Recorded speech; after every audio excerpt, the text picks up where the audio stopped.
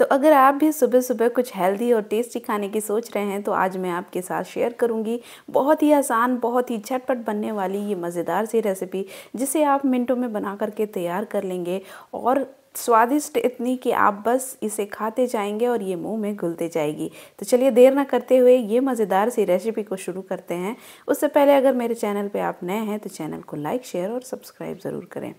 तो यहाँ पे मैंने पालक ले लिया है 200 ग्राम। अब हमें क्या करना है? पालक के इस तरीके से पत्तों को निकाल लेना है। तो पालक को मैंने अच्छे से बढ़िया से वॉश कर लिया है। इन पत्तों को बस हमें चाहिए क्योंकि इसकी डंठल को हमें नहीं लेना है इस रेसिपी के लिए। तो यहाँ पे इन पालक को हमें पतले पतले लच्छों में कट कर लेना है, क्योंकि इन पतले लच्छों से ही हमारा नाश्ता जो है ना, वो बहुत ही स्वादिष्ट और बहुत ही मज़ेदार बन करके तैयार होता है। तो इस तरीके से हम पालक को कट कर लेंगे। बहुत ही बारीक कट करना है, लेकिन पतले पतले लच्छों में हमें कट करना है। तो इसी तरीके से सारे पालक को हमें काटना है। अब यहाँ पे एक दूसरे बाउल में हम लेंगे बारीक कटा हुआ प्याज, लगभग आधे प्याज को हम बारीक काट करके ले लेंगे। एक मीडियम साइज़ का प्याज है, उसका आधा हिस्सा। अब इसी के साथ हम यहाँ पे ले लेंगे एक छोटा सा टमाटर बारीक काट करके। साथ ही हरी मिर्ची ऐड करेंगे दो से तीन या फिर तीखा अपने अनुसार आप कम ज़्यादा कर सकते हैं। धनिया पत्ता ऐड करेंगे और इसके बाद यहाँ पे आधा चम्मच अजवाइन ऐड करेंगे, आधा चम्मच ज़ीरा पाउडर ऐड करेंगे। और साथ ही हम यहाँ पे ऐड करेंगे दो चुटकी जितना हल्दी। यहाँ पे मैंने नमक भी ऐड किया था और इसके बाद हम इसे मिला लेंगे। तो ये बस इतने ही मसालों में हम इसे बना करके तैयार करना है। अब यहाँ पे चार कली लहसुन की ले ली है और इसे ग्रेट करके ऐड कर देंगे। अगर आप अदरक का टेस्ट पालक के साथ पसंद करते हैं तो उसे भी आप इसमें ऐड कर सकते हैं। अब इसके बाद जो हमने पालक को कट करके रखा था, उसे हम इसमें ऐड कर देंगे। तो बहुत ही हेल्दी और बहुत ही टेस्टी हमारा यह नाश्ता बन करके तैयार होने वाला है। झटपट से नाश्ता बनेगा ये। अब यहाँ पे इसे बाइंडिंग देने के लिए हमने बेसन का इस्तेमाल किया है। तो आप यहाँ पे बेसन की जगह पे चाहे तो गेहूँ का आटा भी ऐड कर सकते हैं। लेकिन बेसन और पालक का जो कॉम्बिनेशन होता है ना, बहुत ही बढ़िया टेस्टी लगता है। इसलिए मैंने यहाँ पे बेसन का इस्तेमाल किया है। तो बेसन यहाँ पे मैंने आधा कप लिया है, लेकिन हम पूरा इकट्ठे नहीं ऐड करेंगे। बस थोड़ा थोड़ा ही ऐड करेंगे। तो यहाँ पर दो टेबल स्पून मैंने ऐड कर दिया है पहले ही।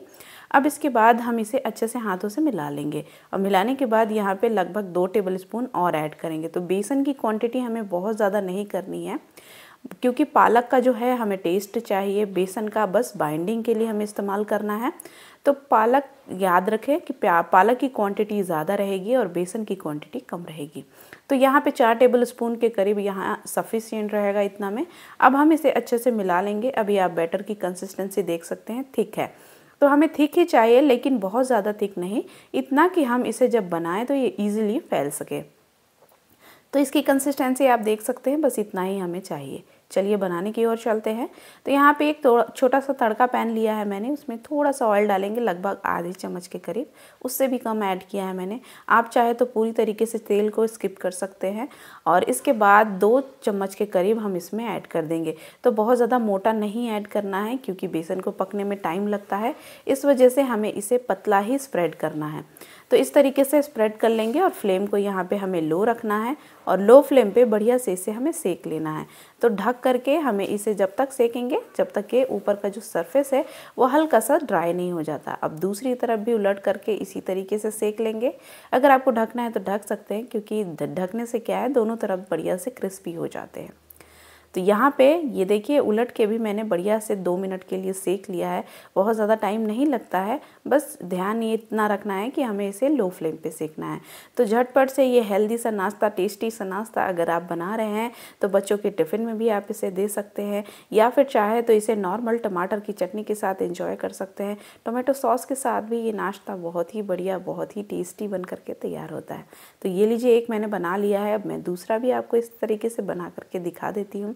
बहुत ही ईजी है, बहुत ही सरल है, चटपट से बनने वाला नाश्ता है और आपने देख ही लिया हमने इसमें कितनी हेल्दी चीज़ों का इस्तेमाल किया है। प्रोटीन है आयरन है मिनरल्स है, बहुत सारे चीज़ हैं इसमें हमने इस्तेमाल किए हैं जो बच्चों के लिए बहुत ही परफेक्ट हैं, क्योंकि बच्चे कभी कभी क्या होता है, सब्ज़ी खाने में आनाकानी करते हैं तो उनके लिए तो ये रेसिपी एकदम ए परफेक्ट है।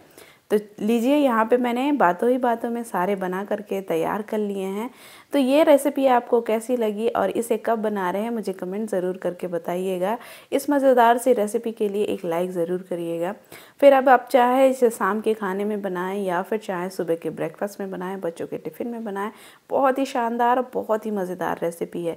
और मुलायम इतनी कि बस आपके मुँह में जाते ही ये घुल जाएगी। आप इसका टेक्सचर देख सकते हैं, कितना बढ़िया, कितना मज़ेदार।